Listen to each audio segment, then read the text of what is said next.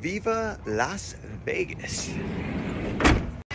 One of my favorite things to do is go to really boutique and awesome coffee shops.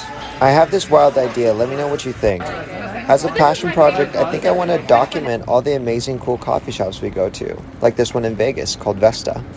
At the end of our van life travels, I would have gone to hundreds of different coffee shops across the United States.